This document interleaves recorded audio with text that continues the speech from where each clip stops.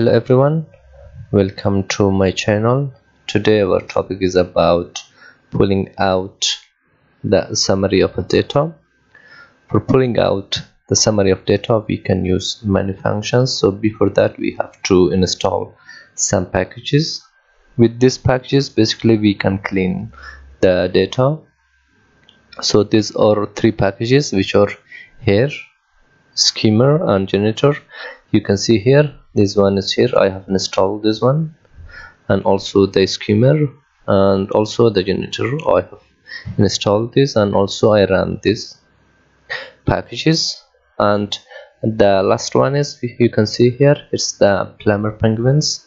So i want to use the palmerpenguins data in order to work in today's lesson. So here first of all I want to use the skim_without_charts function in order to pull out the general summary of a data. So here I just type here skim_without_charts and here I just type penguins here. Penguins and now I want to run this.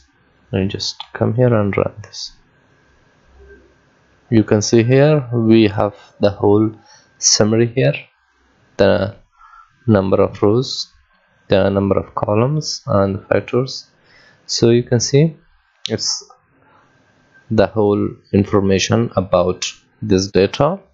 So the next one I want to use the glimpse function. You can see this one is a little bit specific. I just type here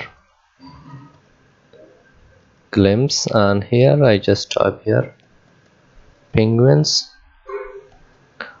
and run you can see here. Here I have the number of rows and here I have the number of columns and the name of the columns here. Uh, you can see here. So if I want to create a little table so I want to I will use the head function. So the head function will pull out the a few columns and a few rows. So I just type here. head and here I just type here. Penguins. Run. You can see it creates a little table little table which has eight column and six rows. So the last one for pulling out more specific data so we use the select function. So whenever we use the select function we have to use pipe as well. So I just come here and type here penguins control shift m.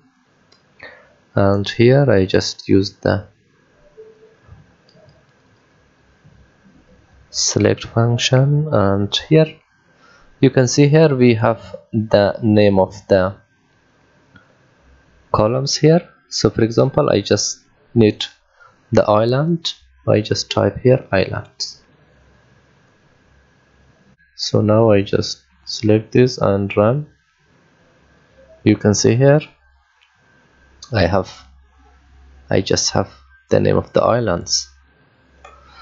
So if I just put minus in front of island it will pull out all the data except the islands so I just put minus here and run again. You can see here I don't have the island here. So that's it about pulling data in different ways.